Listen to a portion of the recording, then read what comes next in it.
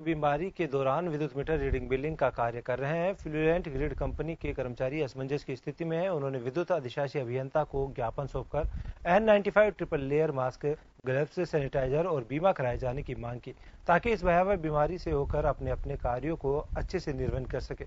उन्होंने बताया कि अगर काम करने से मना करते हैं तो कंपनी के संचालक घर बैठने की धमकी देते हैं।